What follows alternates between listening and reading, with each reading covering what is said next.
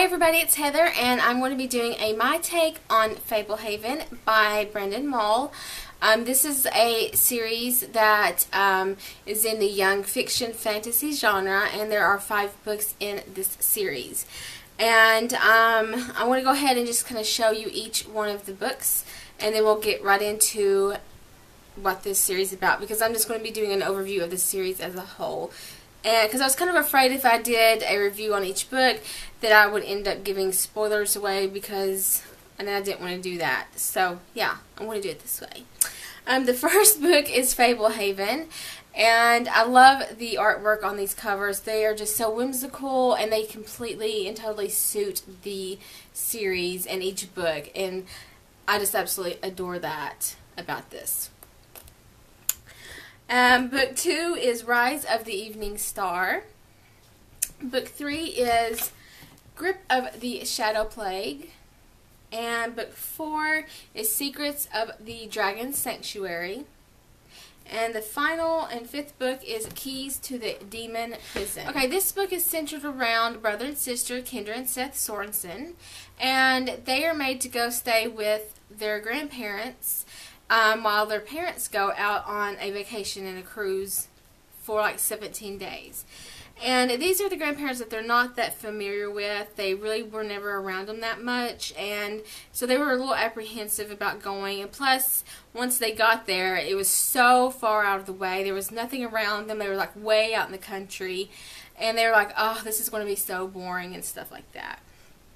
But they soon discover through accidentally drinking some of this special milk, it was like a veil was lifted, and all of a sudden they were seeing these crazy, like mythical, magical creatures, like fairies in the yard and stuff like that. So everything about them staying at the grandparents kind of like was topped up on the side of their head.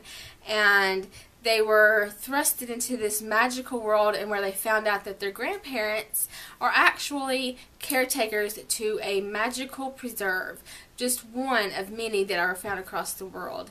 And their grandparents' preserve is called Fablehaven. And so they like are exploring this magical world and they discover that centaurs and satyrs are real, fairies and sirens and just all of these wonderful magical creatures actually exist.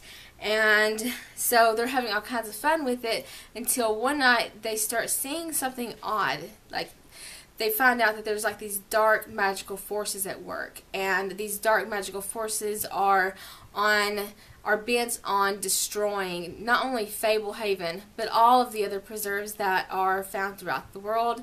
And all of these magical creatures are all in danger.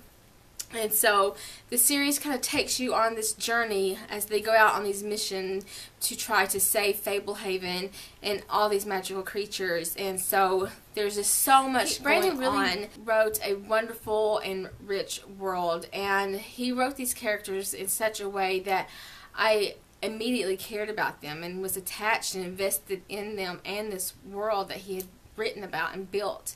And um, the story is paced really good. There's a good flow to it.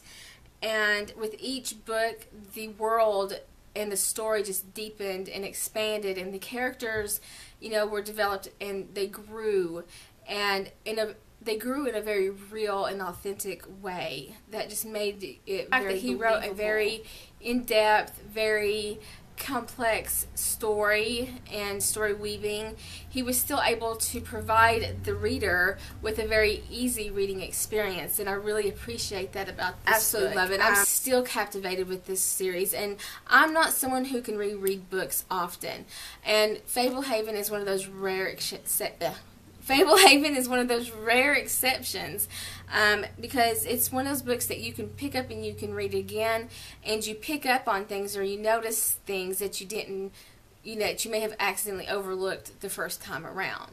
And so it's definitely uh, rereadable. And I absolutely love it. I give this series a 5 out of 5 stars and I just absolutely adore it. And I found that I kind of miss a lot of these people. I miss the story. I miss having these books, you know, like reading them. Because I remember when I got to the last book, The Keys to the Demon Prison, and it's one of the thickest books in the series. And I was very grateful for that because I was not ready for this series to end when I read it the first time.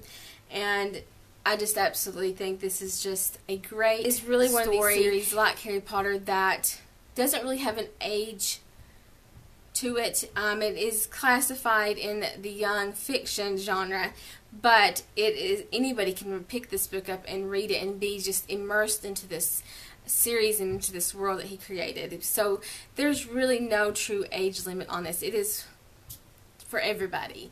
And I highly recommend you go check this series out. I hope you enjoyed this, my take. Um, if you have read the series, leave in the comments below what you thought about it and if you liked it, didn't like it, why you did or didn't like it, and stuff like that. And I look forward to hearing from you guys soon. Talk to you later. Bye.